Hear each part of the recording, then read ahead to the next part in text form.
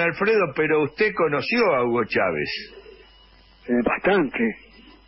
Eh, Hugo Chávez nos invitó a Eric y a mí, al poco tiempo de haber llegado a la presidencia, a que fuéramos sus huéspedes durante 20 días en Caracas con el fin de discutir sobre política.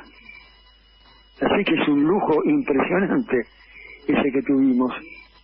Durante 20 días eh, conversando con Chávez y dándole nuestros puntos de vista. Cuando llegamos nos dijo que él estaba bien, que le había que se había manejado hasta ese momento por instinto y que le había ido bien, pero que no se puede gobernar por instinto, que hay que racionalizar y que entonces necesitaba hablar con gente en la que confiaba y que no estaba interesada en la política interna, en las facciones que pudiera haber en Venezuela, y que por eso quería hablar con nosotros. Y así lo hicimos y almorzamos muchísimos días con él y discutimos, eh, y ahí nos enteramos en la práctica que era un hombre de Estado, realmente. No, muy, muy interesante. Algún día hablamos largo sobre las cosas. Su gran preocupación era cómo hacer para que las conquistas sean irreversibles. Bueno, eh,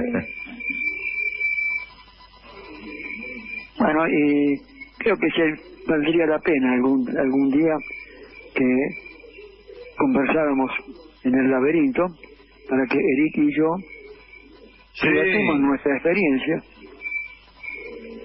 No, lo vamos a hacer y no dejemos pasar demasiado tiempo, lo tenemos que, que hacer pronto, don Alfredo, es lindo, Bueno. es, es gratificante poder escuchar eso. Y a mí lo que me da orgullo, seguramente a usted también le producía alegría, es la apertura de un, de un hombre de esas características de preguntar, de pedir asesoramiento, de debatir, Ah, sí, de- tanto de- como de y aparte de eso, contenido. aparte, eh, nosotros creo que le hicimos un gran favor a Venezuela, porque en el momento que estuvimos allá, estaba ya en la Cámara de Diputados el proyecto de ley de privatización de las jubilaciones.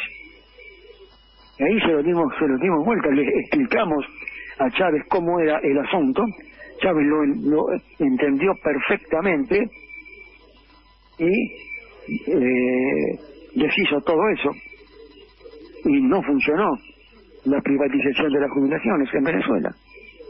Creo que eh, ese fue el gran be- beneficio que le pudimos conseguir para el país con nuestra con nuestra visita. Lógicamente hablamos del tema a fondo con todas las autoridades, con el presidente del Banco Central, con el ministro de Economía, con todo el mundo y eh, sobre todo con Chávez. No, Ah, muy bueno eso. Y que está bueno que lo, que lo mencionemos y estiramos un Bueno, eso, eso no lo sabe nadie, porque eso quedó en las conversaciones que tuvimos. Pero eso muestra que Chávez era un hombre que perseguía el bienestar de su país y que no tenía ningún inconveniente en rectificar medidas que, cuando se convencía que eran nefastas para el país, como fue este el caso.